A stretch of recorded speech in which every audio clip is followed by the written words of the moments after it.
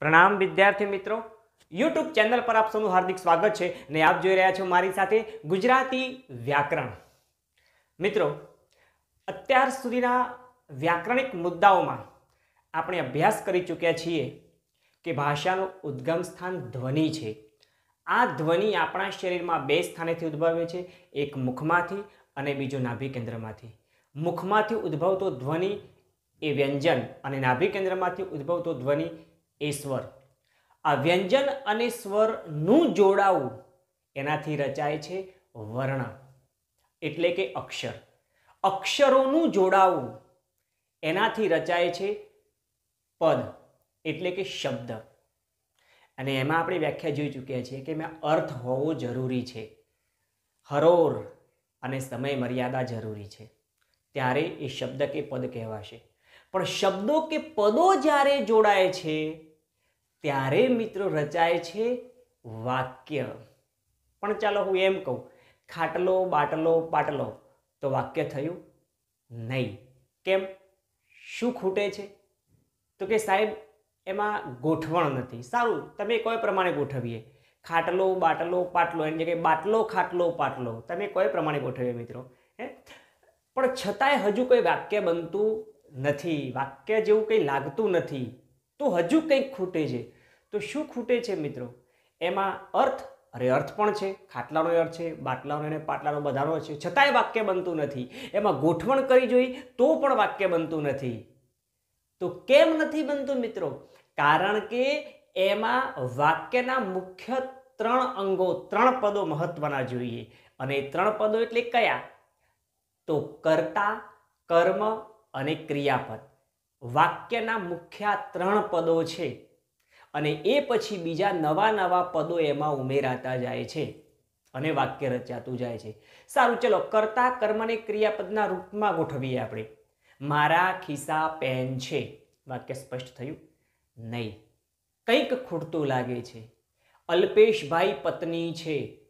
Problem લાગ્યો. Arvindbhai baby છે. મુશ્કેલી લાગી. વાક્યમાં કર્તા કર્મને ક્રિયાપદ છે. છતાંય વાક્ય જેવું કંઈ લાગતું નથી, કંઈક અજુગતું લાગે છે. પરંતુ મિત્રો, ધારો કે હું એમ કહું, મારા ખિસ્સા પેન છે નહીં, પણ મારા ખિસ્સામાં પેન છે. તો વાક્યની સ્પષ્ટતા થઈ ગઈ. અલ્પેશભાઈ પત્ની નહીં, પણ અલ્પેશભાઈની પત્ની છે, તો પ્રોબ્લેમ સોલ્વ થઈ ગયો. અરવિંદભાઈ બેબી નહીં, પણ અરવિંદભાઈની બેબી છે, તો મુશ્કેલી દૂર થઈ ગઈ. આપણું કન્ફ્યુઝન સોલ્વ થઈ ગયું મિત્રો. શેનાથી? તો શબ્દોને ગોઠવ્યા તો ખરા, કરતા, કર્મને, ક્રિયાપદના રૂપમાં. પણ વરી કંઈક અવયવો, કંઈક પ્રત્યયોથી એને જોડવાનો પ્રયત્ન કર્યો. જેવી રીતે મિત્રો પાટા ઉપર પાટા ઉપર હજાર ડબ્બા ગોઠવેલા હોય, પણ હજાર ડબ્બા ગોઠવેલા હોય છતાં એકબીજા સાથે જોડેલા ન હોય, તો એ ટ્રેન કહી શકાતી નથી. પણ માત્ર ત્રણ ડબ્બા હોય પણ એકબીજા સાથે કનેક્ટેડ હોય, જોડેલા હોય, તો એને કહેવાય ટ્રેન અરે ટ્રેનને મિત્રો મેટ્રો ટ્રેન પણ કહી શકાય. હે? તો મિત્રો, એનો મતલબ એવો છે કે એક ડબ્બાને બીજા ડબ્બા સાથે જોડવો પડે છે, ત્યારે ટ્રેન બને છે. એવી જ રીતે મિત્રો, વાક્યની અંદર પણ મુખ્ય ત્રણ પદો, કરતા, કર્મને, ક્રિયાપદના રૂપમાં શબ્દો ગોઠવવા પડે છે અને વળી એને કોઈક પ્રત્યયોથી જોડવા પડે છે. આ પ્રત્યયોને મિત્રો આપણે વ્યાકરણિક ભાષામાં કહીએ છીએ વિભક્તિ પ્રત્યયો, જેની ઓળખાણ આપણે વિભક્તિ પ્રત્યયના એપિસોડમાં જોઈ ચૂક્યા છીએ આ વિભક્તિ પ્રત્યય બે પ્રકારના છે, અનુગો અને બીજા નામયોગી. ને એ, ને, થી, મા, ન, વગેરે. અનુગો, ને માટે, ને લીધે, ને કારણે, ના દ્વારા, ના થક્યા બધા નામયોગી. પણ આ બધાને કહેવાય વિભક્તિ પ્રત્યયો. અને હવે આખી વ્યાખ્યા વાક્યની કહેવી હોય તો કહી શકાય છે મિત્રો કે જ્યારે પદો પદો જ્યારે કર્તા કર્મને ક્રિયાપદના રૂપમાં ગોઠવાય અને વિભક્તિ પ્રત્યેથી જોડાય, ત્યારે વાક્ય થયું કહેવાય. અને આ વાક્ય સાર્થક તારે ત્યારે થાય છે મિત્રો. એને કહી શકાય વાક્ય વિચાર. જી હા મિત્રો આજનો આપણો મુદ્દો છે વાક્ય વિચાર, વાક્ય વ્યવસ્થા. વ્યાકરણનો અગત્યનો મુદ્દો, જે દરેક મુદ્દાઓ અગત્યના છે, પણ સ્ટેપ બાય સ્ટેપ જોતા જોતા અત્યાર સુધી આપણે જે વ્યાકરણિક મુદ્દાઓ જોયા, બધા શબ્દ વિચાર ઉપર જોયા. વર્ણથી માંડીને, ધ્વનિથી માંડીને, વર્ણથી માંડીને શબ્દ સુધી જોયા અને હવે વાક્ય તરફ આગળ વધીએ છીએ. તો આવો મિત્રો, આ વાક્ય બન્યા પછી એ વાક્ય જુદા જુદા પ્રકારમાં પ્રસ્તુત થઈ શકે છે. આ વાક્ય કેવી રીતે રચાયું? એની વ્યાખ્યા જોઈ. ઓકે, વ્યાખ્યાને આપણી સ્ક્રીન પર દર્શાવી છે. આપ એને નોટ કરવાનો પ્રયત્ન કરજો. કારણ કે મેં તમને એક વાર કહી ચૂક્યો છું મિત્રો કે દરેક વ્યાકરણિક મુદ્દાઓ માત્ર પ્રાથમિક, માધ્યમિક કે ઉચ્ચતર માધ્યમિક માટે જ નથી, તમામ પ્રકારની સ્પર્ધાત્મક કસોટીઓ માટે પણ ઉપયોગી છે. એટલે મિત્રો, અભ્યાસ કરવાનું ચૂકતા નહીં. અને હા, કદાચ આપણી તૈયારી પરીક્ષાલક્ષી ન હોય તો પણ મિત્રો, ભાષા આપણા સૌના માટે છે, મારા માટે, તમારા માટે, પરિવાર માટે સૌના માટે છે. માટે ભાષાને હંમેશા મિત્રો વાલ કરીએ, ભાષાને આત્મસાત કરીએ.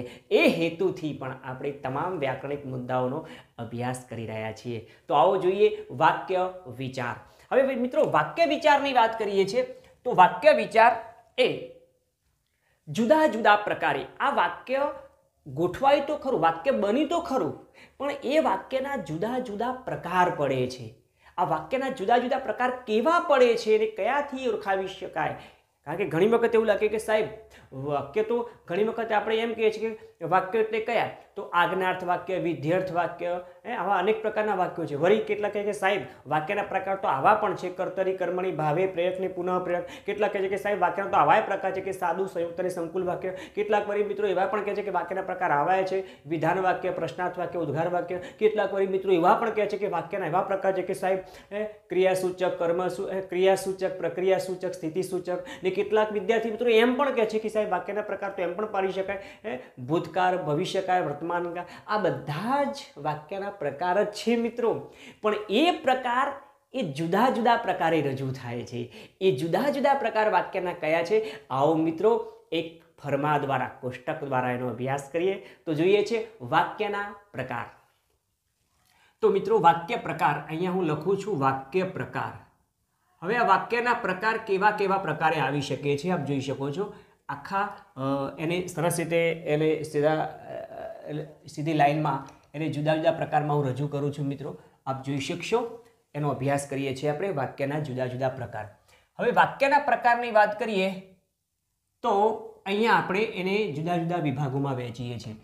વાક્યમાં એક પ્રકાર પડે છે મિત્રો, એ છે અર્થલક્ષી. વાક્ય કેવા પ્રકારનો અર્થ સૂચવે છે? એને કહેવાય વાક્યના અર્થલક્ષી પ્રકાર. આ અર્થલક્ષી કુલ પાંચ પ્રકાર છે. જોઈએ આપણે. વાક્યના અર્થલક્ષી પ્રકાર. તો અર્થલક્ષી પ્રકાર એ પાંચ પડે છે. એક છે એક છે નિર્દેશાર્થ વાક્ય. નિર્દેશાર્થ. બીજો એનો પ્રકાર પડે છે આજ્ઞાર્થ. ત્રીજો એનો પ્રકાર પડે છે વિધ્યર્થ. ચોથો એનો પ્રકાર પડે છે? ચોથો પ્રકાર પડે છે સંભાવનાર્થ વાક્ય. સંભાવનાર્થ.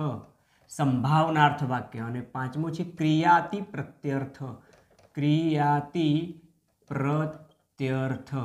આમ મિત્રો વાક્યના એક બે ત્રણ ચાર અને પાંચ. પાંચ પ્રકાર વાક્યના અર્થલક્ષી પડે છે. આ અર્થલક્ષી વાક્યના પાંચ પ્રકાર પછી એના રચનાલક્ષી પ્રકાર પડે છે. જેમ કે મિત્રો, ઘરના અનેક પ્રકાર હોઈ શકે. ઘર સાદું, મતલબ રો હાઉસ બી હોઈ શકે ટેનામેન્ટ બી હોઈ શકે, કદાચ સામે જે જોવા તો ઝૂંપડી પણ હોઈ શકે, ફ્લેટ પણ હોઈ શકે, બંગલોઝ પણ હોઈ શકે. આ બધા ઘરના જુદા જુદા પ્રકાર છે. પણ એ ઘરમાં બી પાછી રચના જોઈએ. તો કોઈકને વળી એની રચનામાં જુદા જુદા પ્રકારની વ્યવસ્થા હોય. કોઈકને વળી રસોડું, રસોડાની રચના જુદી હોય, એમાં બેડરૂમ વ્યવસ્થા જુદી હોય, એમાં સીડી કદાચ બહાર હોય, કોઈને અંદર હોય, કોઈને ધાબુ ઉપર હોય, નીચે ના હોય, એને તળિયું કહેવાય.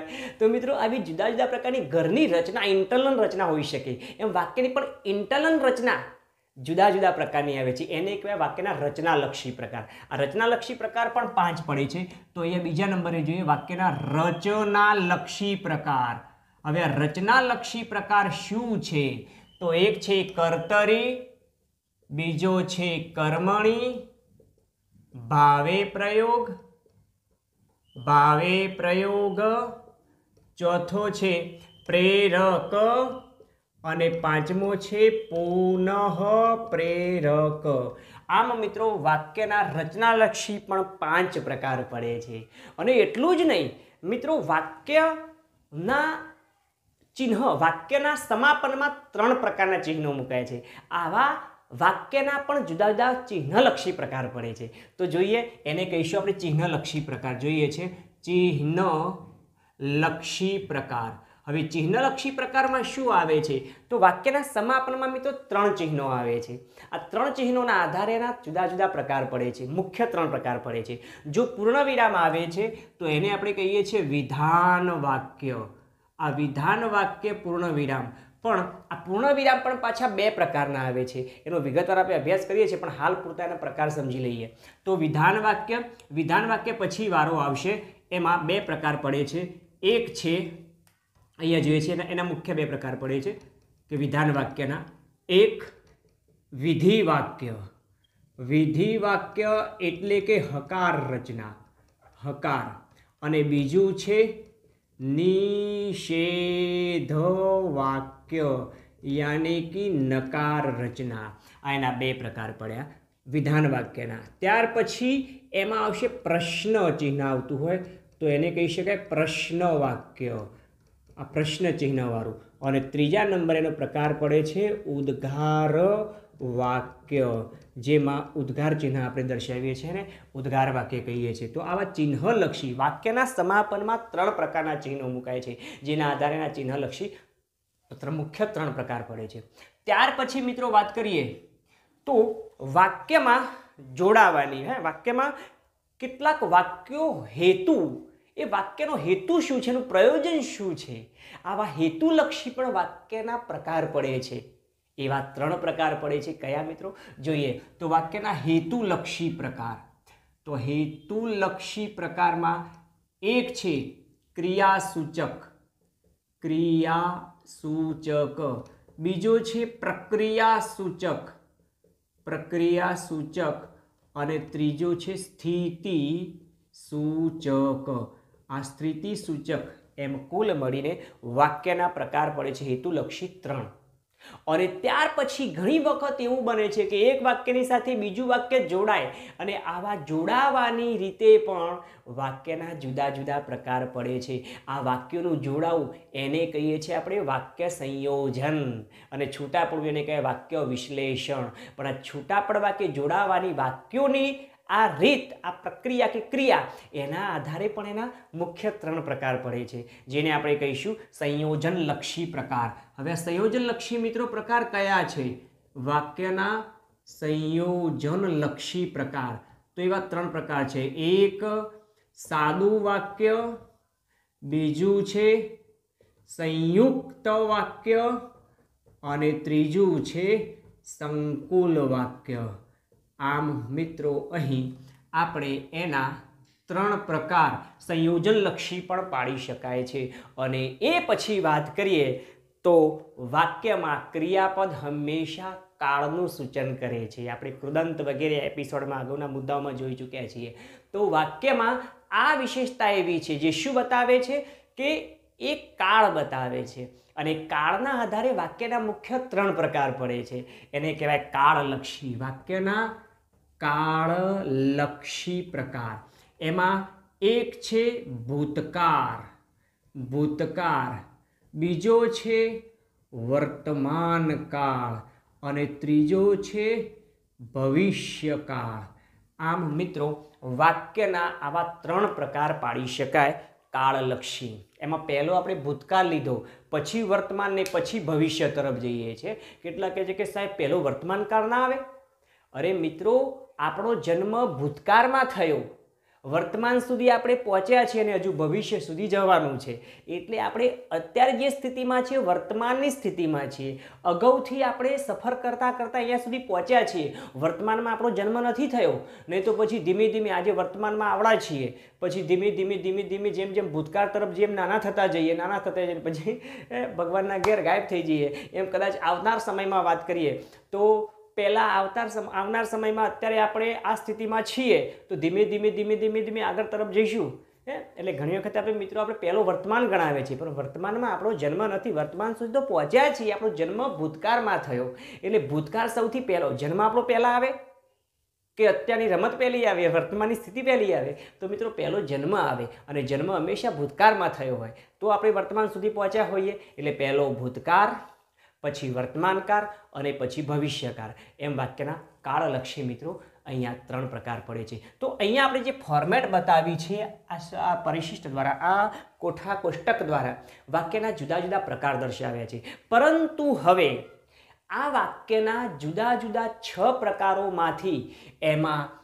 અર્થલક્ષી પ્રકાર કોને કહેવાય? રચનાલક્ષી કોને કહેવાય? ચિહ્નલક્ષી કોને કહેવાય? હેતુલક્ષી કોને કહેવાય? સંયોજનલક્ષી કોને કહેવાય? અને કાળલક્ષી વાક્યના પ્રકાર કોને કહેવાય?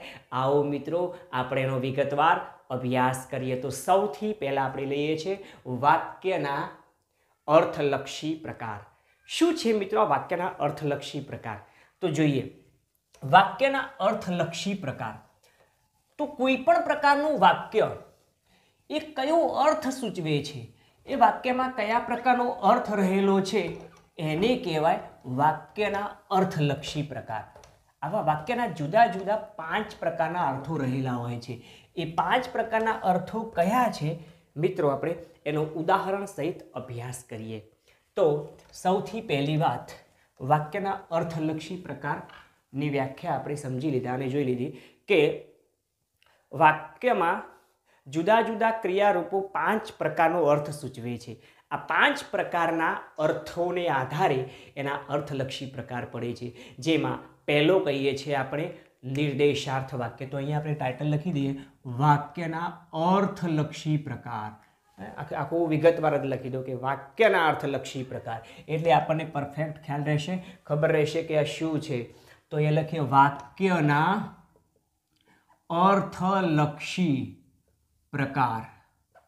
અર્થલક્ષી પ્રકાર એમાંનો પહેલો પ્રકાર છે મિત્રો અહીંયા દર્શાવીએ છીએ આપણે.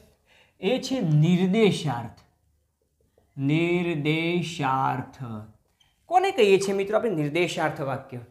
તો બરાબર વાતે સમજી લઈએ કે વાક્યમાં જ્યારે વાસ્તવિકતા કે હકીકતનો અર્થ સૂચવાયો હોય એવા પ્રકારનો અર્થ જો દેખાય, તો એને કહેવાય નિર્દેશાર્થ વાક્યો. દાખલા તરીકે વાત કરું તમને કે ગોવિંદ ગઈકાલે ગામડામાં હતો. તો ગોવિંદ ગઈકાલે ગામડામાં હતો એ વાસ્તવિકતા છે. એમાં હકીકત છે. એમાં કોઈ બીજું પ્રકારનું સૂચન નથી. એને કહેવાય નિર્દેશાર્થ વાક્યો. દાખલા તરીકે વાત કરું કે વરસાદના દિવસો આવી ગયા? ચોમાસું આવી ગયું, વરસાદના દિવસો આવી ગયા. તો આ વાસ્તવિકતા છે, હકીકત છે. એમાં કોઈ બીજી બાબત છે, આપણને સીધી સ્પષ્ટ દેખાતી નથી. એ બીજી દેખાય પછી પણ મેઇન વાત એ છે કે એમાં હકીકત વાસ્તવિકતાનું સૂચન થયેલું છે. દાખલા તરીકે વાત કરું કે સૂર્ય પૂર્વમાં ઉગે છે. તો સૂર્યનું પૂર્વમાં ઉગવું હકીકત છે, વાસ્તવિકતા છે. ગાંધીનગર ગુજરાતનું પાટનગર છે, વાસ્તવિકતા છે, હકીકત છે. તો આવા બધા પ્રકારના વાક્યોને મિત્રો કહેવાય નિર્દેશાર્થ વાક્યો. તો એ એક્ઝામ્પલમાં આપણે એક એક એક એક લઈએ છીએ. એકાદ બે એકાદ બે. દાખલા તરીકે સૂર્ય પૂર્વમાં ઉગે છે. સૂર્ય પૂર્વમાં ઉગે છે. ઓકે, અર્થની દ્રષ્ટિએ આ જ વાક્યનો પ્રકાર બીજો પણ હોઈ શકે ને આવશે આગળ જેમ. આ જ વાક્યના એક્ઝામ્પલમાં આપણે લઈશું. પણ કહેવાનો મતલબ મિત્રો મારો એ છે કે અર્થની દ્રષ્ટિએ જોવા જઈએ તો આ નિર્દેશાર્થ વાક્ય કહેવાય. અને પછી બીજો કયો પ્રકાર આવે? કે જેમ જેમ આવે હું તમને એક્ઝામ્પલ કહેતો જઈશ. એક્ઝામ્પલ શક્ય હોય તો આપણે એ પણ લેવાનો પ્રયત્ન કરીશું, જેથી કરીને આપણે આ તફાવતમાં ખ્યાલ આવે. ગોવિંદ ગઈકાલે ગામડામાં હતો હકીકત છે, ગોવિંદ ગઈકાલે ગામડામાં હતો. તો ગોવિંદનું ગઈકાલે ગામડામાં હોવું એ પણ હકીકત છે, વાસ્તવિકતા છે. વરસાદના દિવસો આવી ગયા. વરસાદના દિવસો આવી ગયા. તો આ બધા જ મિત્રો શું બતાવે છે? વાક્યનું નિર્દેશાર્થ બતાવે છે. પણ ધારો કે હું એમ કહું, ચાલો, જટ બધા ઊભા થાઓ. શું થયું આમાં? આજ્ઞા થઈ મિત્રો. માટે એને કહેવાય આજ્ઞાર્થ વાક્યો. જી હા, જેમાં આદેશ કે હુકમનો અર્થ સૂચવાયો હોય, એવા પ્રકારના વાક્યોને કહેવાય આજ્ઞાર્થ વાક્યો. તો અહીંયા લખીએ છીએ આજ્ઞાર્થ વાક્યો. આજ્ઞાર્થ.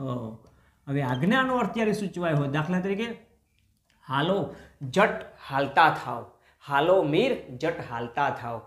આપણે એ જ વાક્ય લખીએ કે હવે હાલો, મીર, જટ હાલતા થાવ. હાલો મીર, જટ, હાલતા થાવ મિત્રો, શરણાઈના સૂરનું આ વાક્ય છે. એ ચુનીલાલ મળિયાકૃત મારી જો ભૂલ ન થતી હોય તો. એમાં શરણાઈના સૂરમાં એક વાક્ય આવે છે, હાલો મીર, જટ, હાલતા એ ભૂધર મીરાની તરસી વિવાહીના ત્યાં આવેલી આ જાનની બે વિવાહીઓના વચ્ચે જે રમજુ મીરની, જે રમરમાટી બોલી શરણાઈની અને એમાં જે રમજુ મીરને જે ધક્કો મારીને કહેવામાં આવ્યું, હુકમ કર્યો, આજ્ઞા કરી કે, હાલો મીર, જટ હાલતા થાવ આજ્ઞાર્થ વાક્ય થયું. દાખલા તરીકે વાત કરું, હવે તમે જમવા બેસો? આજ્ઞા કરી તમે જમવા બેસો યાર, તો ભૂખે મળી જશો હે? તો આજ્ઞા થઈ, હવે તમે જમવા બેસો, હવે તમે જમવા બેસો એમાં આજ્ઞા પાછું કોઈ પણ પ્રકારે એમાં હોય આજ્ઞા વર્તમાનમાં હોય, આજ્ઞા ભવિષ્યમાં હોય ને આજ્ઞા ભૂતકાળમાં હોય, હે? દાખલા તરીકે વર્તમાન. હવે તમે જમવા બેસો. વર્તમાનની વાત કરીએ આપણે અહીંયા. હવે તમે જમવા બેસો. વર્તમાનની આજ્ઞા છે? અહીંયા કહીએ, હાલો મીર, જટ હાલતા થાઓ. શેની વાત થઈ? તો આજ્ઞા વાત થઈ આજ્ઞા એ પણ વર્તમાનની વાત છે. વર્તમાન. દાખલા તરીકે એમ કહું? હવે તમે આ છોકરાઓને જાળવજો. ભવિષ્યની વાત થઈ. હવે તમે આ છોકરાઓને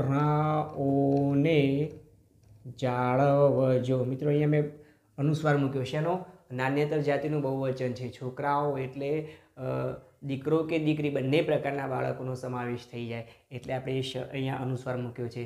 અનુસ્વારના નિયમો જોવાનું ચૂકતા નહીં મિત્રો. આપણે જોડણીમાં આ એપિસોડમાં આ મુદ્દાની ચર્ચા કરી ચૂક્યા છીએ. એટલે દરેક મુદ્દાને ચોક્કસથી જોવાનો પ્રયત્ન કરજો મિત્રો. જોઈએ આપણે, છોકરાઓને જાળવજો. આ ભવિષ્યની આજ્ઞા છે. પણ થઈ તો આજ્ઞા જ. આને કહેવાય આજ્ઞાર્થ વાક્યો. પણ ત્રીજા નંબરે વાત કરીએ, ધારો કે હું એમ કહું, હે? હું એમ કહું કે હંમેશા સત્ય બોલવું. મેં આજ્ઞા કરી કે તમે સત્ય બોલજો. નહીં. સારું. એમાં કોઈ વાસ્તવિકતા છે કે સત્ય બોલે છે? હે? નહીં મિત્રો. એમાં સત્ય બોલવાની નથી મેં નથી મેં આજ્ઞા કરી કે નથી એમાં વાસ્તવિકતા? મેં તો મારી ફરજ નિભાવી કે હંમેશા સત્ય બોલવું એમ કહ્યું તમને. હવે તમને મિત્રો યોગ્ય લાગે તો એ સ્વીકારવાનું, ન લાગે તો મૂકી દેવાનું. કારણ કે એમાં કોઈ આજ્ઞા કે સૂચન નથી. એમાં તો માત્ર કર્તવ્યનો ભાવ છે. જી હા મિત્રો, જે વાક્યની અંદર વિધિ કર્તવ્ય કે ફરજનો અર્થ સૂચવાયો હોય તેવા પ્રકારના વાક્યોને કહી શકાય. વિધ્યર્થ વાક્યો. હંમેશા સત્ય બોલવું, હે, જોઈએ આપણે. વિધ્યર્થ વાક્યો કયા પ્રકારના હોઈ શકે? તો વિધ્યર્થ વાક્યો. દાખલા તરીકે, હંમેશા સત્ય બોલવું. હંમેશા સત્ય બોલવું. હવે મેં મારી ફરજ નિભાવી કહીને હવે એને ફોલો કરવી કે ન કરવી? મિત્રો, આપની મરજી હે. નિયમિત કસરત કરવી. હંમેશા હંમેશા સત્ય બોલવું. સાહેબ, ના બોલવું હોય તો? કંઈ વાંધો નથી મિત્રો ફોર્સ નથી. નિયમિત કસરત કરવી. શું કામ ભાગવા કરવી? હે? ઠંડીમાં ઠરવા કરવી? નહીં મિત્રો, તંદુરસ્ત રહેવા માટે કરવી. મનને પ્રસન્ન રાખવા માટે કરવી. જો યોગ્ય લાગે તો કરવી, નહીં તો કંઈ નહીં. નથી એમાં દબાણ કે નથી ફોર્સ નથી. વાસ્તવિકતા માત્ર મારી ફરજ મેં નિભાવી છે. યોગ્ય લાગે તો કરવી. વડીલોને માન આપવું. શું કામ ભાગવા આપવું? એ અમને માન આપે છે? હે? એવી આપણે ફરિયાદો કરવાની જરૂર નથી. કારણ કે મેં મારી ફરજ કે કર્તવ્ય નિભાવ્યું છે. હવે તમને યોગ્ય લાગે તો એ સ્વીકારવાનું, નહીં તો ન સહી. એને કહી શકાય વિદ્યાર્થ પ્રકારના વાક્યો. હંમેશા સત્ય બોલવું. નિયમિત કસરત કરવી. નિયમિત કસરત કરવી. એ દાખલા તરીકે વાત કે હંમેશા વડીલોને માન આપવું. વડીલોને માન આપવું. તો અહીંયા આ વાત કરી એ આપણે મિત્રો વિધ્યર્થ વાક્યની વાત કરી. પણ દાખલા તરીકે હું એમ કહું કે દાખલા કે અવાજ બંધ કરો. કોઈક આવતું લાગે છે. શું થયું મિત્રો આમાં? શું દેખાય છે? અવાજ બંધ કરો. કોઈક આવતું લાગે છે. સંભાવના સંભાવના બતાવે છે મિત્રો. જી હા, જ્યારે કોઈ પણ પ્રકારના વાક્યમાં સમ સંભાવના કે શક્યતાનો અર્થ સૂચવાયો હોય, એવા પ્રકારના વાક્યોને આપણે કહીએ છીએ સંભાવનાર્થ વાક્યો. તો આ થયો સંભાવનાર્થ વાક્ય. સંભાવના દાખલા તરીકે આપણે કહ્યું એ પ્રમાણે અવાજ બંધ કરો, કોઈક આવતું લાગે છે. અથવા અવાજ બંધ કરો, સાહેબ આવતા લાગે છે. જોઈએ. અવાજ બંધ કરો. અવાજ બંધ કરો. સાહેબ, આવતા લાગે છે. આવતા લાગે છે. શક્યતાની વાત કરી, સંભાવનાની વાત કરી. ઘણી વખત કહીએ બાને પૂછ, કદાચ હા પાડશે તો આપણો મેર પડશે. પ્રવાસ જવાનો. અરે, તમે બહુ ફોરવર્ડ છો. ઘણા પાછા અનેક પ્રકારના અર્થમાં સમજી જાઓ છો. પણ સાહેબ, તમે અરે ભાઈ ચલો, જે જે સમજો છે પણ યથાયોગ્ય રીતે સમજવાનો પ્રયત્ન કરીએ. સારું, તો અવાજ બંધ કરો. સાહેબ આવતા લાગે છે. બાને પૂછ, કદાચ હા પાડશે. તો એ લખ્યું, બાને પૂછ, કદાચ હા પાડશે. તો બાને પૂછ, કદાચ હા પાડશે. શક્યતા કે સંભાવનાની વાત છે મિત્રો, હે.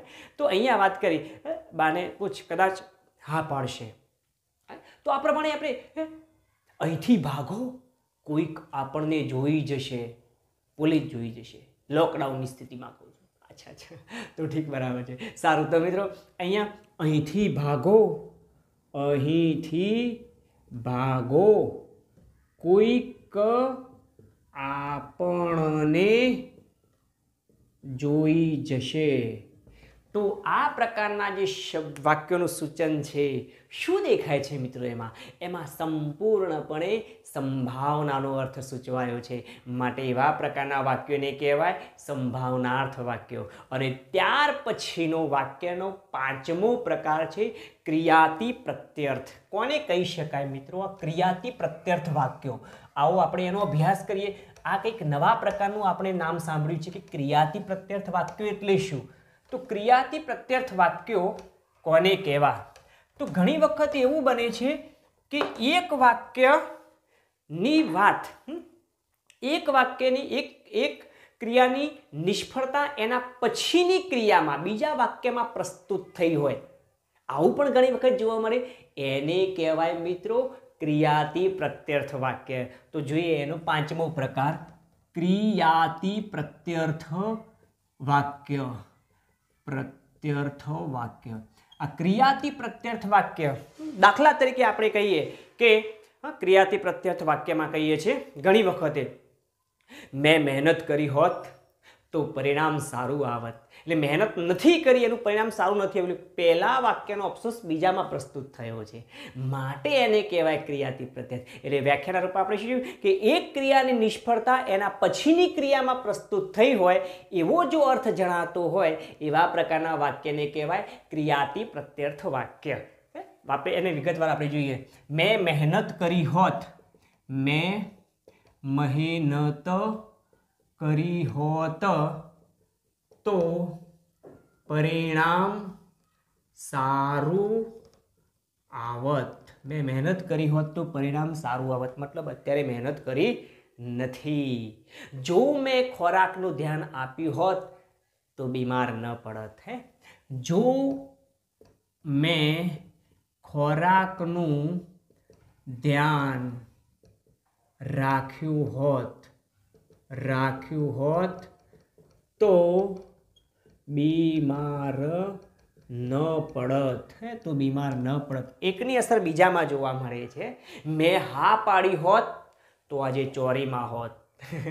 ઘણા મિત્રોને એવો અફસોસ રહી જાય. એટલે ક્યારે આવો અફસોસ ભગવાન જ્યારે અવસર કે તક આપે કુદરતી રીતે જ્યારે ત્યારે એને મિત્રો ગુમાવી નહીં. એ તક, કારણ કે તકને હંમેશા આગળ વાળ હોય ને પાછળ ટાલ હોય.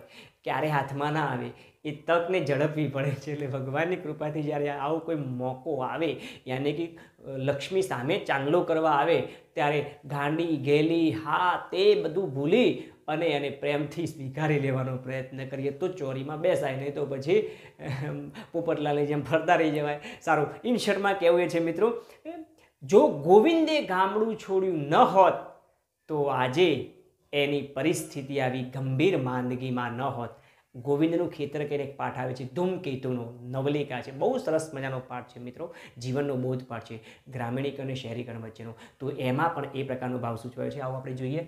દાખલા તરીકે વાત કરીએ કે ગોવિંદે ગોવિંદે જો ગામડું છોડ્યું ન હોત તો આજે એ માંદગીની પથારી માંદગીની પથારીએ ન હોત. તો આ બતાવે છે મિત્રો એક વાક્યની બીજા વાક્યમાં અસર.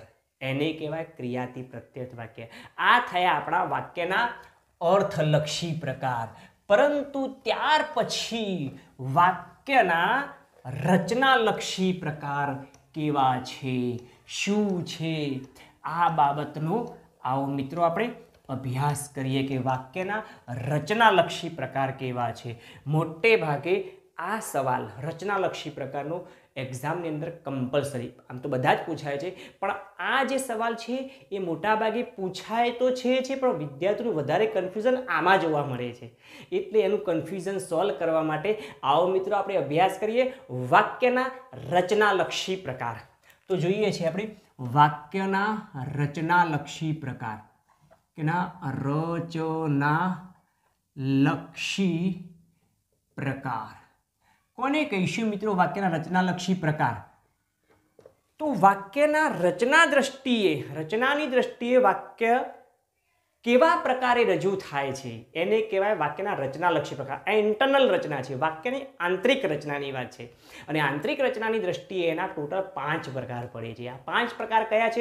એક સાથે હું પહેલાં લખી જ દઉં. અને એક જ એક્ઝામ્પલની અંદર આ પાંચે પાંચ બાબતો આપણે જોઈ લઈએ. જેથી કરીને ખબર એ પડે કે આ એક્ઝામ્પલ અને આ એક્ઝામ્પલમાં તફાવત ક્યાં છે? જે તફાવત છે એ જ મિત્રોને ઓળખવાની ચાવી છે એની લાક્ષણિકતા છે અને ચાવીની વિશેષતા શું છે? આપણે અગાઉના એપિસોડમાં જોઈ ચૂક્યા છે. જોવાનું જ નહીં એપિસોડને સાથે આ એપિસોડમાં પણ આપ જોડાયેલા રહેજો. જોતા રહો મારી સાથે ગુજરાતી વ્યાકરણ આત્મસાત કરીએ છીએ મિત્રો, આપણી ભાષાની જોઈએ આપણે, એના પાંચ પ્રકાર કયા છે? એક છે કર્તરી. કર્તરી રચના. બીજું છે કર્મણી રચના. ત્રીજું છે ભાવે પ્રયોગ. હવે ભાવે પ્રયોગ કહું કે રચના કહું? ભાવે પ્રયોગ. એક સરખું જેવું છે. ઓકે, ત્યાર પછી એ લખું છું ચોથા નંબરે પ્રેરક રચના. પ્રેરક રચના. અને ત્યાર પછી પાંચમા નંબરે છે પુનઃ પ્રેરક રચના. પુનઃ પ્રેરક રચના. આમ મિત્રો વાક્યના અહીં ટોટલ આવા જુદા જુદા પ્રકાર, કર્તરી રચના. કર્મણી રચના, ભાવે પ્રયોગ રચના, પ્રેરક રચના અને પુનઃ પ્રેરક રચના. એ વાક્યના ટોટલ પાંચ પ્રકાર. સારું, આ પાંચ પ્રકાર શું છે? એમાં હું એક્ઝામ્પલ સહિત, આપણે એક એક્ઝામ્પલ લઈએ છીએ દરેકના ઉપયોગમાં લઈએ છીએ. તો જોઈએ આપણે પહેલો એક્ઝામ્પલ શું છે. એમાં દાખલા તરીકે વાક્ય સીધું સાદું સિમ્પલ વાક્ય લખું છું કે હરિતા કવિતા લખે છે. હરિતા નામ છે. હરિતા કવિતા લખે છે. આ એક વાક્ય લખું છું. બીજું એક વાક્ય એ પણ આપણે લખી દઈએ, હરિતા હસે છે. એટલે આપણને ખબર પડે કે એમાં શું તફાત હરિતા હસે છે. અને ત્રીજું એક વાક્ય લખું છું એમાં, હરિતા ખુશ ખુશ થઈ ગઈ. તો આ ત્રણ પ્રકારના વાક્યોને લઈ અને મેં અહીંયા કર્તરીમાં એનો પ્રયોગ દર્શાવવાનો, ઉદાહરણ દર્શાવવાનો પ્રયત્ન કર્યો છે. તો મિત્રો, અહીંયા કર્તરી વાક્ય શું છે? અને કર્મણી પછી થાય તો શું થાય છે? ઓકે તો કર્તરી વાક્ય કોને કહેવાય? તો સૌથી પહેલી વાત. જો વાક્યના મુખ્ય ત્રણ અંગો છે, એમાં કરતા, કર્તા કર્મની ક્રિયાપદ, એમાં જો વાક્યની અંદર કર્તા ઉપર ભાર મુકાયો હોય, તો એવા પ્રકારના વાક્યને કહીશું આપણે કર્તરી વાક્ય. અને જો ભાર કર્મ ઉપર મુકાયો હોય, તો એને કહેવાય કર્મણી વાક્ય. પણ સાહેબ, અમારી પાસે એવું ત્રાજવું નથી ને, કે જેનાથી આ કોની પર કેટલો ભાર છે, એક બાજુ કર્તાને મૂકીને, એક બાજુ કર્મને મૂકીને એને માપી શકે કે કોમાં, કોનામાં કેટલું વજન છે કે કેટલો ભાર છે? સાહેબ, અને માપવો તો કેવી રીતે માપવું? એનું ત્રાજવું તો અમારી પાસે છે નહીં. સારું મિત્રો, હું તમને વાત કરી દઉં કે કર્તરી પર ભાર ક્યારે કહેવાય ને કર્મ ઉપર ભાર ક્યારે કહેવાય? દાખલા તરીકે એક્ઝામ્પલ આપું છું કે ક્લાસની અંદર હું પ્રોક્સી તાસમાં જાઉં છું. અને પ્રોક્સિતાસમાં જેને વિદ્યાર્થી મિત્રોને એમ કહું છું કે મિત્રો, ચલો આજે આપણે બહુ ભણ્યા છે, રોજ ભણીએ છીએ, આજે કંઈક મજા, કંઈક આનંદ કરીએ, કંઈક એવો આનંદ કરીએ, જેથી કરીને આપણને કંઈક વિશેષતા જોવા મળે, જાણવા મળે. હા, સાહેબ, મજા આવો, કરો. અને છોકરાઓ આની રાહ જોઈ રહ્યા હોય, એટલે આપણે સીધી જે બી વાત કરીએ છોકરાઓ તરત આતુર હોય અને તરત આતુરતાપૂર્વક એની રાહ જોઈ અને બેઠા હોય. સાહેબ, કંઈક નવું કરાવો, ચાલો. ઓકે, શરૂઆત કરીએ કે ચલો મિત્રો, આજે એવું કરીએ, આપણે સરસ મજાનો એવો કાર્યક્રમ કરીએ, જે વિદ્યાર્થીને જે કંઈ એક્ટિવિટી ફાવતી હોય એ ઊભા થઈને રજૂ કરે. તો એક્ટિવિટી ફાવતી હોય, એવું રજૂઆતની વાત થાય ને સાહેબની, એટલે કેટલાક અમારા વિદ્યાર્થી મિત્રો તૈયાર જ હોય. એમાં ચિંટુ ઊભો થયો કે, સાહેબ, અરે સાહેબ, મને સરસ મજાનું ગીત ગાતા ભાવે છે. એમ? સારું બેટા, ગીત ગાવાનું ચાલુ એને સરસ મજાનું ગીત ગાવાનું ચાલુ કર્યું. સરસ મજાનું ગીત ગાતા ગાતા આમ આમ ભાવ ભર કરી નાખ્યા. સારું. જેવું એનું ગીત પૂરું થયું એટલે તરત કે ચિંટુ કે, અરે સાહેબ, હજુ તો તમે મારો ડાન્સ ક્યાં જોયો છે? ડાન્સ તો જુઓ. ઓકે વળી પાછો ને ડાન્સ કર્યો. વળી પાછો કે, અરે સાહેબ, હજુ તો તમે મારો અભિનય ક્યાં જોયો છે? તમે મારો અભિનય જુઓ તો તમને ખ્યાલ આવે કે એક્ટર કોને કહેવાય અભિનેતા કોને કહેવાય. સારું ભાઈ એક્ટિંગ કરતો, એને એક્ટિંગ કરી. હજુ તો એ પૂરું થયું હતું કે, સાહેબ, હજુ તો તમે મારા યોગા ક્યાં જોયા છે? હે? તમે મારા યોગા જોશો ને એટલે રામદેવજી મહારાજને તમે ભૂલી જશો. મેં કીધું, સારું કહેવાય ભાઈ. ચોલ તો તારા યોગા કરી બતાવ, તો એને યોગા કરી બતાવ્યા હજુ તો એને એ પૂરું થયું ત્યારે કે, સાહેબ, હજુ તો તમે મારું ડ્રોઈંગ ક્યાં જોયું છે? એકવાર તમે ડ્રોઈંગ જુઓ ને તો ભલભલા ડ્રોઈંગ ટીચરને તમે ભૂલી જાઓ. મેં કીધું, સારું કહેવાય. ઓકે એને ડ્રોઈંગ કર્યું. સારું. એમ એમ એમ કરતાં, અરે સાહેબ તમે તો શું ગુજરાતી ભણાવતા હશો? એના કરતાં સાહેબ, હું જો એક કાવ્ય ચલાવું અથવા કાવ્યનું પઠન કરીને તમને બતાવું કે ગઝલની રચના કરીને બતાવો ને, તમે બી યાદ કરી લેશો કે સાહેબ, પદ્ય સાહિત્ય ગદ્ય સાહિત્ય કોને કહેવાય? એમ કરીને તો પદ્યની શરૂઆત કરી. એમ એમ એમ કરતાં મિત્રો આખો પિરિયડ ચિંટુએ પૂરો કરી નાખ્યો. ચિંટુએ જુદી જુદી એક્ટિવિટી કરાવી. હવે બીજા દિવસે જ્યારે છોકરાઓ ઘરે મળશે અથવા એકબીજાને મળશે, ત્યારે શું વાતો કરશે? અરે મિત્રો આજે તો શું મજા આવી? ચિંટુએ મોજ કરાવી દીધી હવે જુદી જુદી એક્ટિવિટી દ્વારા. સારું, ચિંટુ શું છે? તો ચિંટુ કરતા છે. આમાં કરતા ઉપર દરેક જુદી જુદી એક્ટિવિટી ચિંટુએ કરાવી. એટલે મહત્વ કોનું થઈ ગયું? ચિંટુનું. પરંતુ ધારો કે બીજા દિવસે હું એ જ ક્લાસમાં પ્રવેશ કરું છું ને આજે પણ હું પ્રોક્સી તાસમાં આવ્યો છું ને વિદ્યાર્થી મિત્રોને કહું છું કે, મિત્રો, ચલો, આજે પણ કંઈક સરસ મજાની એક્ટિવિટી કરીએ. છોકરા કહે, સાહેબ, હા, આજે કરીએ. કંઈ કરશું સાહેબ? ચલો, હું એમ કહું કે, ચલો, હવે આપણે એવું કરીએ. આજે દેશભક્તિ ગીતનો કાર્યક્રમ રાખીએ. સારું સાહેબ બહુ મજા આવશે. તો એમાં ચિંટુ તો પહેલાં હોય જ, એટલે સૌથી પહેલાં ચિંટુ ઊભો થઈને શરૂઆત કરી. હે? એ મેરે વતન કે લોઘો. હે? શરૂઆત કરી, દેશભક્તિ ગીત ગાયો. ચિંટુ જેવો વારો પૂરો થયો, પિન્ટુ કે સાહેબ, હું એ ગઈશ. એને પણ શરૂઆત કરી. નન્ના મુન્ના રાહી હું, દેશ કા સિપાહી હું. એને પણ ગીતની શરૂઆત કરી, પણ દેશભક્તિ ગીત એ પણ ગાયું. ચિંટુ ગાયો, પિન્ટુ ગાયો, એટલે, હે? એની પિંકી કે સાહેબ હું પણ ગઉં? સારું બેટા, ચલ તું પણ ગાઈને એની પણ શરૂઆત કરી, હે? છોટા બચ્ચા સમજ કે હમકો ના ગબરાના રે. ટુ બી ડબ ડમ ટમ, હે? એક પછી એક પછી એક વિદ્યાર્થી ચિંટુ ગાયો, પિન્ટુ ગાયો, પિંકી ગાય યાર પછી બીજી ઘણી બધી વિદ્યાર્થીઓને વિદ્યાર્થીઓ, ચાર પાંચ વિદ્યાર્થીઓ અલગ અલગ અલગ અલગ પ્રકારના દેશભક્તિ ગીતો ગાયા. આખો પ્રિય તાસ પૂરો થઈ ગયો. હવે જ્યારે વિદ્યાર્થી મિત્રો બીજા દિવસે મળશે, ત્યારે શું વાતો કરશે? અરે, કાલે તો અરવિંદ સરે ક્લાસની અંદર શું બાકી પ્રોગ્રામ ગોઠવ્યો હતો?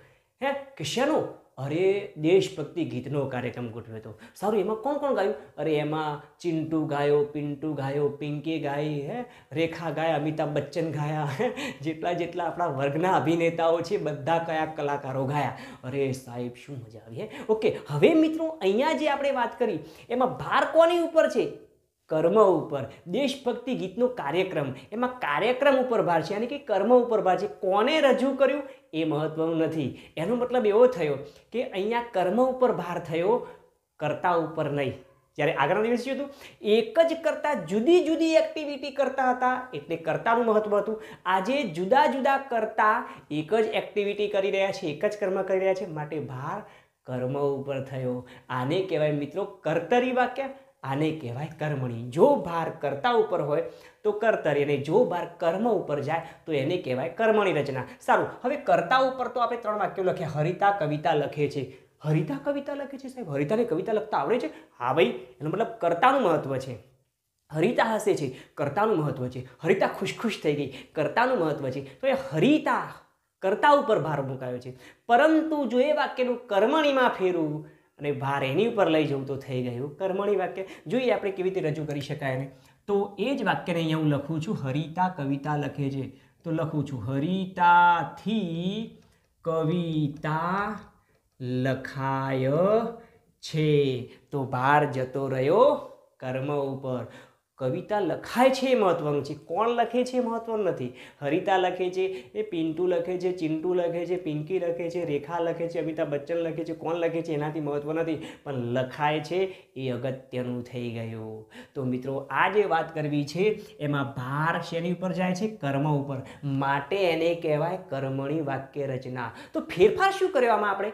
તો સીધો સાદો આપ જોઈ શકો છો ફેરફાર કે અહીંયા કર્તાની પાછળ આપણે થી પ્રત્યય લગાવ્યો છે. યાદ કરો મિત્રો, વિભક્તિ પ્રત્યયમાં મેં તમને એક પ્રકાર કર્મણીનો બતાવ્યો કે થી જ્યારે આવે ત્યારે ઘણી વખત કર્મણી રચનાનું કામ કરે છે. તો અહીંયા જે થી પ્રત્યય છે, વિભક્તિ પ્રત્યય, એ કર્તાની પાછળ લાગ્યો છે? વડે દ્વારાના અર્થમાં સૂચવાયું છે. એટલે કે કર્મણીના ભાવમાં આ થી પ્રત્યય લાગ્યો છે. અહીંયા થી પ્રત્યય મુકાયો. એટલે થયો કર્મણી પર ભાર અને કર્મની પાછળ, આ કર્તાની પાછળથી પ્રત્યય મૂકે અને કર્મની પાછળ આય પ્રત્યય લાગ્યો છે. કયો પ્રત્યય લાગ્યો છે મિત્રો? આય પ્રત્યય. યાદ રાખજો, મેં તમને અગાઉ વાત કરી હતી કે કોઈ પણ પ્રકારના શબ્દને ઓળખવો હોય તો એના પ્રત્યયને ઓળખવો પડે. જો પ્રત્યય ઓળખાયો તો સમજી લો એ શબ્દ ઓળખાઈ ગયો. પછી લિંગમાં હોય, વચનમાં હોય, કે પછી કૃદંતમાં હોય, કે પછી અહીંયા વાક્યની રચનામાં હોય. કોઈ પણ પ્રકારના શબ્દને ઓળખવો હોય તો એના પ્રત્યયને ઓળખવું પડે, કારણ કે પ્રત્યય શું છે? એ શબ્દનો યુનિફોર્મ છે. જેવી રીતે આપણે જુદા જુદા સ્કૂલના વિદ્યાર્થીઓને બજારમાં જતા હોય એમને દૂરથી ઓળખવા હોય, તો એમના યુનિફોર્મ પરથી ઓળખાય. એમ કોઈ પણ પ્રકારના શબ્દને ઓળખવો હોય તો એના પ્રત્યેથી ઓળખાવી શકાય. પ્રત્યય શું છે? તો એનો યુનિફોર્મ છે. બદલી યુનિફોર્મ શકાય શરીર નહીં. આ વાત આપણે મિત્રો અગાઉના એપિસોડમાં યાની કે લિંગ વ્યવસ્થા, વચન વ્યવસ્થામાં કરી ચૂક્યા છીએ. બાકીના મુદ્દાઓમાં કરી ચૂક્યા છીએ. એ ટોપિક એ એપિસોડ જોવાનું ચૂકતા નહીં. તો આ એપિસોડમાં ખ્યાલ આવશે મિત્રો. તો દરેક વિદ્યાર્થી મિત્રોને ખાસ વિનંતી છે કે વર્તમાનનો એપિસોડ જે ચાલુ છે, એ સમજવા માટે ભૂતકાળના એપિસોડને ચોક્કસ આપ જોવાનો પ્રયત્ન કરજો. અને જો પછી આપને સિરીઝ ગમે, માતૃભાષાનો આત્મસાત કરવાનો ભાવ ગમે, તો પછી ભવિષ્ય તરફ પણ આગળ વધજો. ચોક્કસ જોવાનું ચૂકતા નહીં, કારણ કે આપણે માતૃભાષાને આત્મસાત કરીએ છીએ. જોઈએ આપણે, અહીંયા જે વાત કરવી છે, અહીંયા આય પ્રત્યય લાગ્યો, એટલે થઈ ગયું કર્મણી વાક્ય. તો અહીંયા હરિતાથી કવિતા લખે. હરિતા કવિતા લખે છે તો કર્તરી, પણ હરિતાથી કવિતા લખાય છે. તો ભાર જતો રહ્યો કર્મ ઉપર. માટે થઈ ગયું એ કર્મણી વાક્ય. ફરક શું પડ્યો? કર્તાની પાછળથી પ્રત્યય અને કર્મની પાછળ આય પ્રત્યય લાગ્યો. સારું, હવે ભાવે પ્રયોગ ઉપર જઈએ આપણે. તો અહીંયા બીજું વાક્ય લઈએ. હરિતા હસે છે. હરિતા હસે છે. હવે એ વાક્ય કર્તરી છે. એને મારે ભાવેમાં લઈ જવું છે. જોઈએ કેવી રીતે લખી શકાય. તો લખું છું. હરિતાથી હસાય છે. તો હરિતાથી હસાય છે, થઈ ગયો ભાવે પ્રયોગ. પણ સાહેબ, એક મિનિટ, ઊભા રહો ઊભા રહો. સાહેબ, અહીંયા તમે શું ફરક કર્યો? આમાં કર્મણીમાં થી પ્રત્યય લગાવ્યો અને કર્મણી પાછળ આય પ્રત્યય લગાવ્યો. કર્મણી વાક્ય થયું. તો અહીંયા પણ કંઈક એવું દેખાય છે. કર્તાની પાછળથી પ્રત્યય છે અને અહીંયા જે હસાય છે, એની પાછળ પણ આય પ્રત્યય છે. તો આય પ્રત્યય છે, એટલે રચના તો ટુ સીમાના જેવી જ થઈ. થી પ્રત્યય અને આય પ્રત્યય તો આને કર્મણી કહ્યું આને આને ભાવે કેમ કહ્યો સાહેબ? એવું તેઓએ કેમ અન્યાય કરી રહ્યા છો? અરે મિત્રો, ચિંતા ન કરશે. એનું તમને હું સોલ્યુશન આપી દઉં. એનું નિરાકરણ કરી દઉં. મિત્રો, કર્મ અને ભાવમાં ખૂબ મોટો ફરક છે. કર્મ એ પોતાની ઈચ્છા મુજબ થાય. મારે લખવું છે. લખવું એ કર્મ છે. મારી ઈચ્છા મુજબ લખવા બેસી ગયો. દોડવું કર્મ છે. મારી ઈચ્છા મુજબ દોડવા લાગ્યો. મારે વાંચવું છે. વાંચવા બેસી ગયો. કર્મ થયું. કારણ કે ઈચ્છા મુજબ થાય છે. પરંતુ મારે હસવું હોય મારી ઈચ્છા મુજબ ના હસી શકું, મિત્રો. હે? રડવું હોય, મારી ઈચ્છા મુજબ ના રડી શકું. હે? બેસણાનો પ્રસંગ હોય, હે? બેસણાનો પ્રસંગ. અને જો મારે હસવાનો પ્રયત્ન, મને કોઈ હસાવવાનો પ્રયત્ન કરે, હે? કોઈ કોઈ સ્વજન મૃત્યુ પામ્યું અને મને કોઈ હસાવવાનો પ્રયત્ન કરે, મિત્રો, ક્યારેય મને હસવું આવી શકે? ક્યારેય નહીં, મિત્રો. ક્યારેય નહીં. હે? અને રડવાનો અને ખુશીનો માહોલ હોય, જબરજસ્ત ખુશીનો માહોલ. ઇવન ત્યાં સમજી લો કે લગ્નના પ્રસંગમાં પોતાના જ લગ્ન હોય. અને પોતાના લગ્નમાં જાન લઈને ગયા હોય અને આપણને કોઈ રડાવવાનો પ્રયત્ન કરે. તાકાત છે મિત્રો, રડી શકીએ. હે? હા, ભલે બીજા દિવસથી રડતા. પણ ટૂંકમાં કહેવું એ છે કે જે દિવસે જાન લઈને ગયા હોય, એ દિવસે દુનિયાની કોઈ તાકાત આપણને રડાવી શકે નહીં. બીજા દિવસે આપણા ભાગ્યની વાત છે, એ સૌની એક પ્રકારની વાત છે, મારી તમારી સૌની. પણ એ દિવસે ખુશીના માહોલમાં આપણે રડવું શક્ય નથી. તો આજે વાત કરીએ છીએ આપણે, કે હસવું કે રડવું, ભાવ ભીના થઈ જવું, ગદગદ થઈ જવું ખુશ ખુશ થઈ જવું. મારે ખુશ ખુશ થયું તો મારી ઈચ્છા મુજબ ખુશ ખુશ થઈ જવું? હા ખુશ ખુશ એમ ના થવાય મિત્રો. જ્યારે આવીને કોઈક સમાચાર સંભળાવે કે ઓ સાહેબ, તમારું પેલું નક્કી થઈ ગયું. પ્રવાસ જવાનું. શું વાત કરે છે? અરે બેટા, તારે બોર્ડની એક્ઝામમાં પ્રથમ નંબર આવ્યો છે. શું વાત કરો સાહેબ. ઓકે મિત્રો, તો આ જે ભાવ છે ને ભાવ, એ આપણી ઈચ્છા મુજબ ક્યારેય પ્રગટ થતા નથી. એ બહારના વાતાવરણને જોઈ અંદરની લાગણીઓ બહાર આવે છે. એને કહેવાય ભાવ. એટલે ભાવ સ્વૈચ્છિક નથી, એ કુદરતી છે. આપણી ઈચ્છા મુજબ એને પ્રસ્તુત કરી શકતા નથી. એટલે એને કહેવાય ભાવે પ્રયોગ. ફરક માત્ર આટલો છે કે આ સ્વૈચ્છિક છે, આ કુદરતી છે. રચના એક જ છે બંનેની.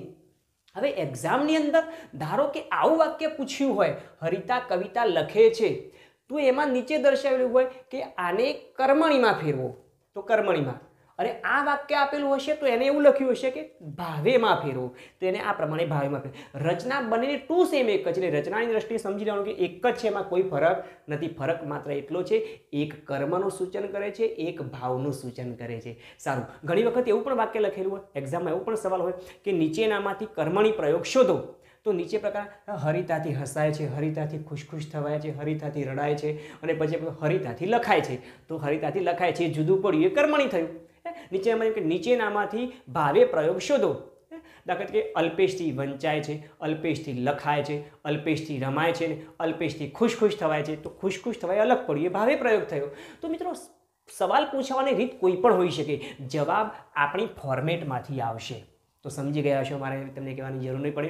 કે કર્તાની પાછળ જો થી પ્રત્યય લાગે છે અને કર્મની પાછળ આય પ્રત્યય લાગે છે, તો એ થઈ ગયો. કર્મણી પ્રયોગ, એ કર્મણી પ્રયોગ, એ રચનાની દ્રષ્ટિએ ટુ સેમ ભાવે પ્રયોગ છે. બંનેમાં ફરક આપણે જે કહ્યો એટલો જ છે. એટલે બંને ટુ સેમ એક સમજવાના, યાદ રાખવાની દ્રષ્ટિએ પ્રત્યેની દ્રષ્ટિએ.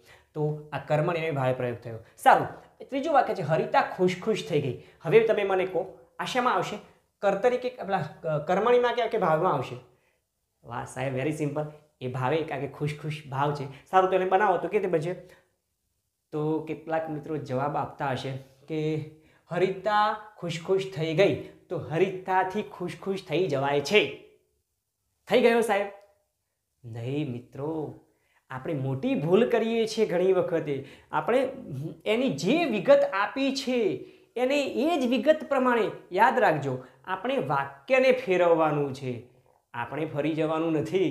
હે, વાક્યની અંદર એનો અર્થ પણ ના બદલાવો જોઈએ અને એનો કાળ પણ ના બદલાવવો જોઈએ અને વાક્યને રૂપાંતરિત કરવું પડે. તો અહીંયા કાળ ખુશ ખુશ થઈ ગઈ, તો ખુશ ખુશ થઈ જવાય છે. તો આ ભૂતકાળની વાતને પછી વર્તમાનમાં લાવીને મૂકી દઈએ તો આપણી વાક્યરચના ત્યાં ખોટી પડે છે. કારણ કે કોઈ પણ પ્રકારના વાક્યની ઓળખનો આધાર એના ક્રિયાપદ ઉપર છે. ક્રિયાપદ એ મુખ્ય અંગ છે. તો આ ક્રિયાપદ એ જેમ ટ્રેનને ચલાવવાનું કામ છેલ્લા ડબ્બામાં બેઠેલી લીલી કે લાલ ઝંડી કરે છે. એટલે વ્યક્તિ કરે, પણ લીલી કે લાલ ઝંડીથી એનું ચાલવું કે ઊભા રહેવું નક્કી થાય. ડ્રાઈવર પછી કામ કરે. પણ એની લીલી કે લાલ ઝંડી, એ હરી અને લાલ, આ બે ઝંડી જો આમ રિપોર્ટ આપે અને તો એ પ્રમાણે ગાડી ચાલે કે ઊભી રહે. એમ જેમ પતિનું હોય છે. પતિને જો લીલી ઝંડી મળે તો બિચારા ચાલવા લાગે, અને જો લાલ ઝંડી મળે તો ત્યાં ત્યાં ઊભા રહી જવું પડે. આવી લીલી અને લાલ ઝંડીઓથી પતિનું જીવન પણ બધા પતિઓની વાત છે. કારણ કે કહેવત જ છે ને, થયા પતિ તો ગયા પતિ. પણ ટૂંકમાં મિત્રો, વાત ટૂંકમાં એ કહેવી છે કે અહીંયા આપણે જે વાત કરી રહ્યા છીએ એ શું છે? તો એના પ્રત્યયથી ઓળખવાની વાત છે. એ પ્રત્યય કેવી રીતે ઓળખાવી શકીએ છીએ? તો જોઈએ છીએ, હરિતા ખુશ ખુશ થઈ ગઈ. તો એ આવશે એમાં ભાવેમાં. હવે શું બનાવીએ તો શું થશે?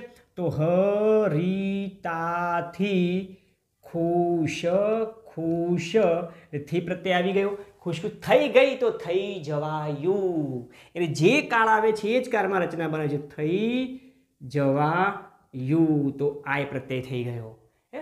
હરિતા ખુશ ખુશ થાય છે તો તો હરિતાથી ખુશ ખુશ થવાય છે. હરિતા ખુશ ખુશ થતી તો, હરિતાથી ખુશ ખુશ થવાતું. જે છે અથવા થતી હતી, થતીની સાથે હતી લાગ્યો હતો, એને ફેરવતી વખતે પણ એ જ પ્રત્યય ઉપયોગમાં લેવાના છે.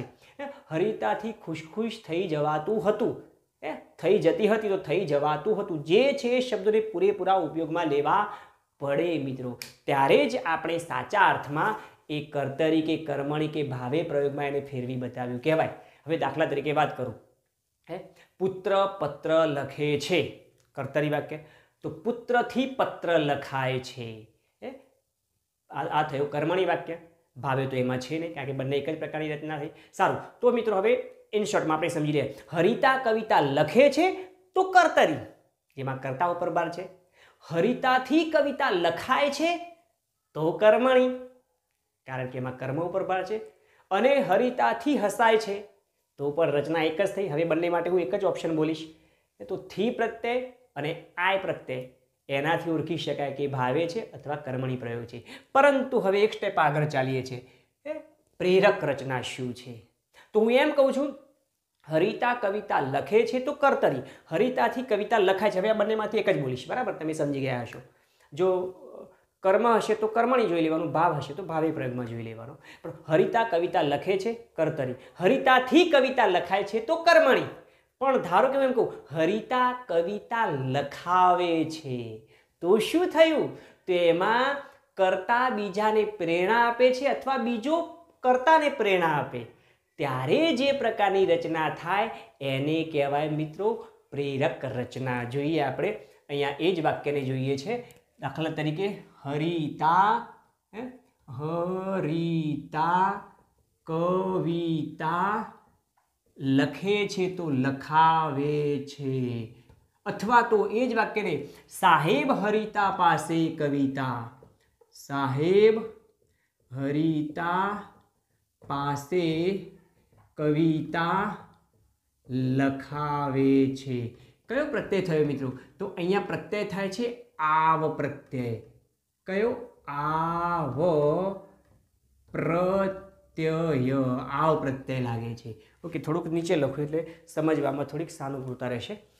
પુનઃ પ્રેરણા થોડુંક નીચે દર્શાવું એટલે પ્રત્યય તમે સારી રીતે જોઈ શકો. અહીંયાથી હું અડેડ કરીને લખી દઉં છું. કયો પ્રત્યય લાગે છે મિત્રો? આવો પ્રત્યય. ફક્ત આવ પ્રત્યયથી ઓળખવાનું છે? આવ પ્રત્યય. હરિતા કવિતા લખાવે છે. એટલે કરતા બીજાને પ્રેરણા આપે છે. અથવા બીજો કર્તાને પ્રેરણા આપે છે. સાહેબ હરિતા પાસે કવિતા લખાવે છે. તો પણ થયું પ્રેરક. પુત્ર પત્ર લખે છે કર્તરી. પુત્રથી પત્ર લખાય છે કર્મણી. પુત્ર પત્ર લખાવે છે પ્રેરક. અથવા બાપુજી પુત્ર પાસે પત્ર લખાવે છે તો પણ પ્રેરક. એનો મતલબ એવો થયો કે કરતા બીજાને અથવા બીજો કરતાને પ્રેરણા આપે. અને જે રજૂઆત થાય એને કહેવાય પ્રેરક રચના, જેમાં આવ પ્રત્યય આવે છે. પરંતુ એ સિવાય એક સ્ટેપ આગળ ચાલીએ. પુનઃ પ્રેરક રચના. કોને કહીશું આપણે? પુનઃ પ્રેરક રચના. તો મિત્રો, ઘણી વખતે આપણે જેમ જોઈએ પ્રમાણે, હે?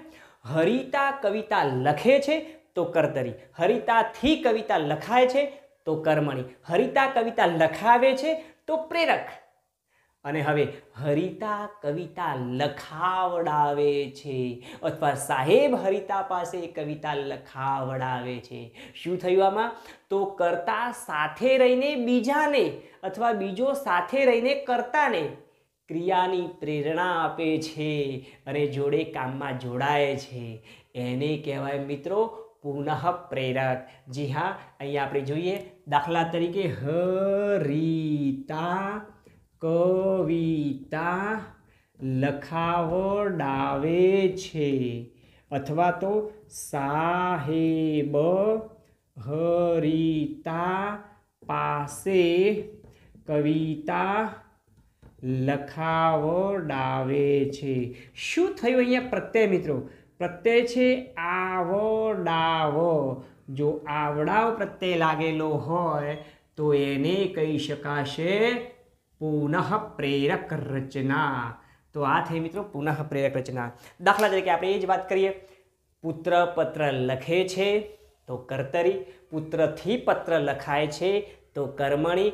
પુત્ર પત્ર લખાવે છે, તો પ્રેરક બાપુજી પુત્ર પાસે પત્ર લખાવે છે, તો પણ પ્રેરક. અને પુત્ર પત્ર લખાવડાવે છે, તો પુનઃ પ્રેરક. અને બાપુજી પુત્ર પાસે પત્ર લખાવડાવે છે, તો પણ પ્રેરક. એનો મતલબ કે કર્તરી માટે સાદું વાક્ય છે, કર્મણી કે ભાવે માટે થી અને આય પ્રત્યે લાગે છે. એ જ પ્રમાણે પ્રેરક માટે આવ પ્રત્યય લાગે છે અને પુનઃ પ્રેરક માટે આવડાવ પ્રત્યય લાગે છે. મિત્રો, આવી રીતે પ્રત્યયના આધારે આપણે કર્તરી, કર્મણી, ભાવે, પ્રેરક કે પુનઃ પ્રેરક કોઈ પણ પ્રકારનો આપણે વાક્ય રૂપાંતર કરી શકીએ છીએ, એને ઓળખાવી શકીએ છીએ. પરંતુ યાદ આપણે કહ્યું એ રાખવાનું છે કે એમાં વાક્યનો અર્થ કે કાળ બદલાવવો જોઈએ નહીં. અને મેં અગાઉ વાત કરી કે દરેક વાક્યનું ક્રિયાપદનો કાળ નક્કી કરે છે. જે વાક્યમાં, જે ક્રિયામાં હોય, જે કાળમાં હોય, એ જ કાળમાં આપણે પ્રસ્તુત કરવાનું છે. કોઈ ફેરફાર, માત્ર કપડાં ચેન્જ કરવાના છે, વ્યક્તિને બદલવાનો નથી. તો જોઈએ છીએ આપણે દાખલા તરીકે આ વાત કરી, આવ પ્રત્યે આવડાવ પ્રત્યે. એ પ્રમાણે વાત કરવી હોય લખ ભવિષ્યની વાત. હોય દાખલા તરીકે, હવે આખું આખું વાક્ય આપણે ભૂલી જઈએ, માત્ર ક્રિયાપદ યાદ રાખીએ. લખે છે તો લખાય છે. લખે છે, લખાય છે, લખાવે છે, લખાવડાવે છે. એ જ વાત જો સાદા એમાં હોય, ભવિષ્યમાં હોય, તો લખશે, લખાશે, લખાવશે, લખાવડાવશે. એ પ્રમાણે લખતો, ભૂતકાળની વાત હોય લખતો, લખાતો, લખાવતો, લખાવડાવતો. ઇન શોર્ટમાં મિત્રો, ક્રિયા કોઈ પણ હોય, એને આ પ્રકારના ચાર પ્રત્યયો લગાડી અને એને રજૂ કરી શકાય. એવા નવે નવ પ્રકારના કાળ. આ કાળ વ્યવસ્થા શું છે? આપણે એમાં જોઈશું એટલે આપણને ખ્યાલ આવશે. એ કાળ વ્યવસ્થાના પ્રકારમાં એને ટોટલ નવ પ્રકારના કાળમાં આપણે વહેંચણી કરીએ છીએ સાદો ચાલુ અને પૂર્ણ ત્રણેય કાળ. એ ત્રણેય કાર ત્રણે ત્રણ અવસ્થાઓમાં જોઈન થાય છે. એટલે છેલ્લું આપણું જે ક્રિયાપદ છે, એ ક્રિયાપદને કોઈ પણ પ્રકારના કાળનું કેમ ના હોય, એ કાળમાં આપણે ફરક માત્ર કેટલો કરવાનો છે? માત્ર પ્રત્યય લગાડવાનો છે. અને જે છે એ જ પ્રમાણે એને રજૂ કરવાનો છે. એ થઈ જશે આપણો આ વાક્યનો રચનાલક્ષી પ્રકાર. સારું મિત્રો, આવું એમાં વિશેષતાની વાત દાખલા તરીકે આ તો સાદા આપણે એક્ઝામ્પલ જોઈએ. પણ ધારો કે એમાં થોડું ડિફિકલ્ટ મુશ્કેલીવાળું, થોડુંક એક્ઝામમાં મોટે ભાગે આવા કન્ફ્યુઝનવાળા જ સવાલો પૂછાય. તો આવા એકાદ બે એક્ઝામ્પલને આપણે જોઈએ. ચલો અહીંથી હું ડિલીટ કરું છું, તમે મનમાં ક્રિએટ કરજો. દરેક મુદ્દાનો મિત્રો આપ, દરેક મુદ્દાને નોટ મતલબ કે ચોક્કસથી એને સ્વાધ્યાય, અભ્યાસ તો કરીએ છીએ, પણ સ્વાધ્યાય માટે એને નોટબુક બનાવવાનો, એવી નોટબુક બનાવવાનો આપણે પ્રયત્ન કરીએ કે જે આપણને તો કામ લાગશે લાગશે, પણ આવનાર આપણા સમયને એ કામ લાગશે. આપણને, આપણા પરિવારને, ભાઈ બહેન બાળકો, સૌને કામ લાગશે. માટે આપ ચોક્કસથી એવી નોટબુક બનાવવાનો પ્રયત્ન કરજો. કારણ મિત્રો, હું અનેક વાર કહી ચૂક્યો છું કે આ વ્યાકરણિક મુદ્દાઓ એ માત્ર પ્રાથમિક, માધ્યમિક કે ઉચ્ચતર માધ્યમિક માટે જ નથી. તમામ પ્રકારની સ્પર્ધાત્મક કસોટીઓ માટે પણ ઉપયોગી નહીં, ખૂબ જ ઉપયોગી છે ને ખાસ ઉપયોગી છે. એટલે જ કહું છું કે આવો મિત્રો, આપણે માતૃભાષાને આત્મસાત કરીએ. જોઈએ છીએ આપણે. એક થોડુંક ડિફિકલ્ટ એક્ઝામ જોઈએ. ચલો, લખું છું દાખલા તરીકે. વસંત ઋતુમાં વસંત ઋતુમાં વનવાસી ભાઈઓ હે? હવે ધારો કે મારે, મેં કહ્યું તમને, વિરામ વિરામ ઉપયોગ. હવે મારે આ જોડે લખવાનું હતું ને અલગ લખાઈ ગયું. તો ચિંતા કરવાની જરૂર હતી. આ સેતુ પુલ બનાવી દઈએ, આપણે જોડે થઈ ગયું. કયું ચિહ્ન કહેવાય અને મિત્રો? યોજક ચિહ્ન. જે મિત્રો હજુ વિરામ ચિહ્નનો અભ્યાસ નથી કર્યો, એ પણ વિરામ ચિહ્નનો એપિસોડ ચોક્કસથી જોઈ લેજો.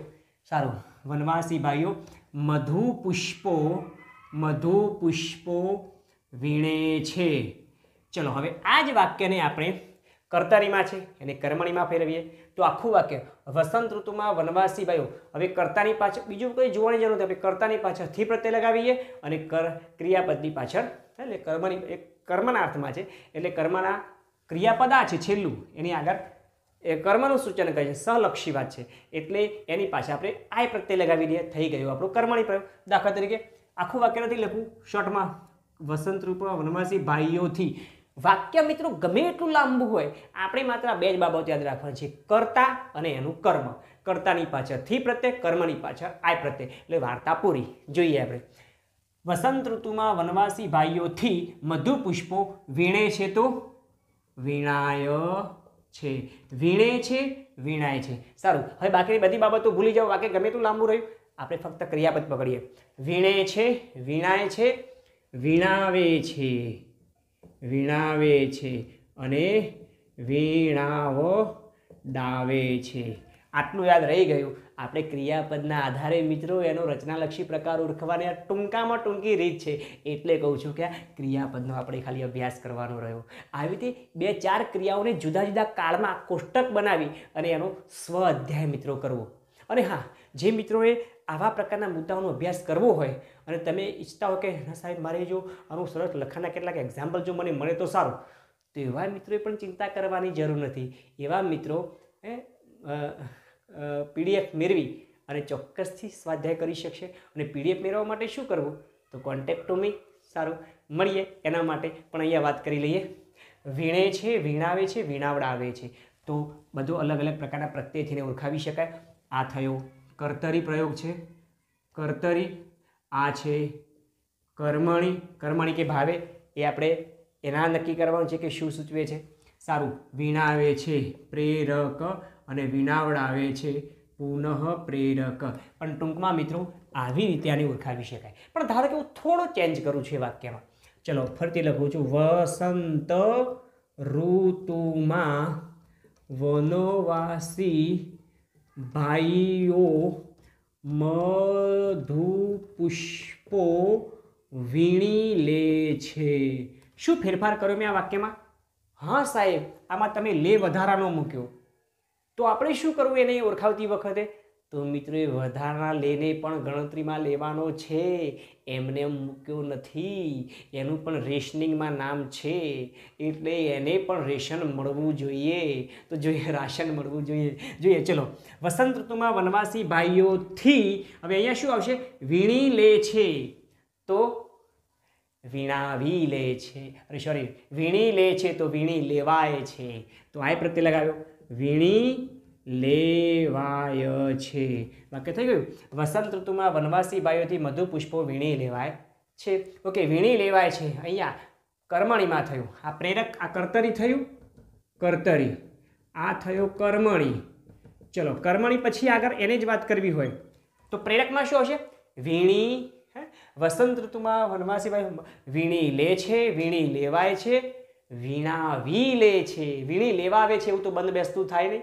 એટલે વીણાવી લે છે. અહીંયા આની સાથે આપણે લગાવવું પડશે. વીણાવી લે છે. તો લે તો હાજર થયો. પણ અહીંયા આય પ્રત્યે આમાં લગાવ્યો. આવ.